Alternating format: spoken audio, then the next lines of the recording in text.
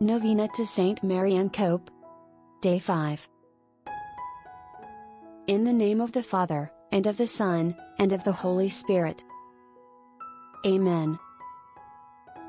Lord Jesus, you who gave us your commandment of love of God and neighbor, and identified yourself in a special way with the most needy of your people, hear our prayer. Faithful to your teaching, Saint Marianne Cope loved and served her neighbor, especially the most desolate outcast, giving herself generously and heroically for those afflicted by leprosy. She alleviated their physical and spiritual sufferings, thus helping them to accept their afflictions with patience. Her care and concern for others manifested the great love you have for us.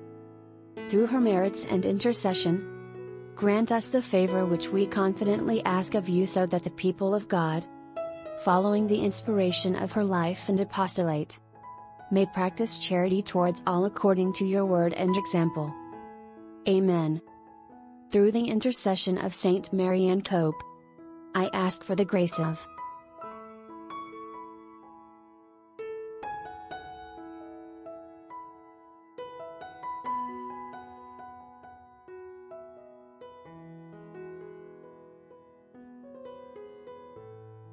Our Father who art in heaven, hallowed be thy name.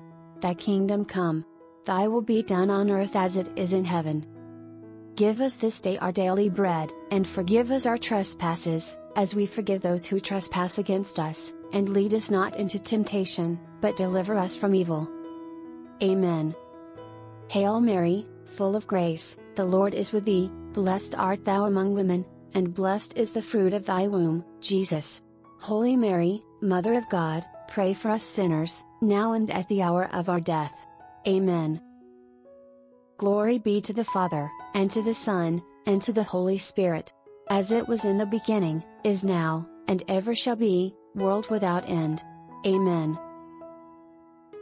In the name of the Father, and of the Son, and of the Holy Spirit. Amen.